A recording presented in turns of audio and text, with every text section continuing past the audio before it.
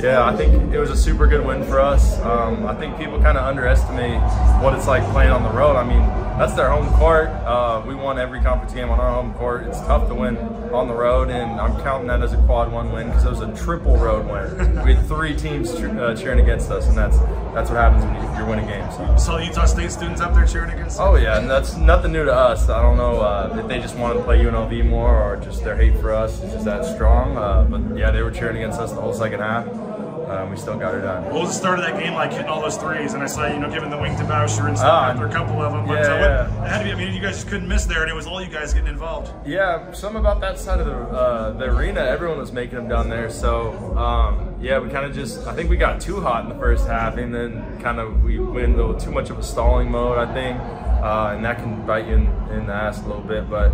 Uh, then we started clamping up, and, and we got the win.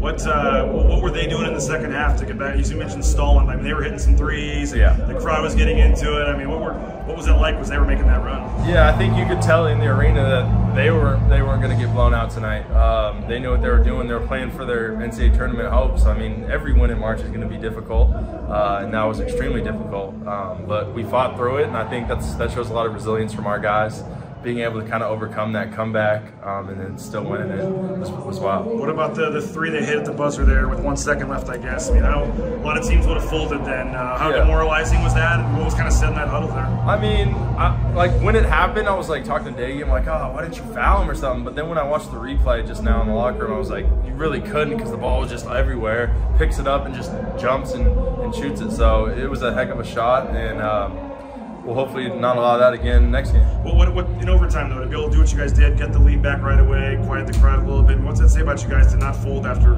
something like that happens? No, it tells a lot about our team and, and the grit we have. And I think everyone we beat them seven or eight times in a row. It's hard to beat a team three times in a row. So the fact that we've been able to do that says a lot about our program and, and where this program's headed. And, and we're heading to semifinals tomorrow. So it's, you're, you're also going dancing. I mean, that has to lock you guys in now. I don't know, BJ. You pay more attention to that. Actually, I don't know. I've be paying attention to that, but. Yeah. Uh, but I mean, you feel pretty. You got to feel pretty good now about where you're. Oh at. yeah. So if uh, Nevada and Utah State are probably in more of the level on the bubble than we are now, I think now we're fighting for a seven seed. Hopefully, that's that's our goal. What does it mean? I guess final thing. If you one of four teams left playing and you're still alive, you try to go back to back. Uh, what's it mean? Yeah. No, uh, it means a lot.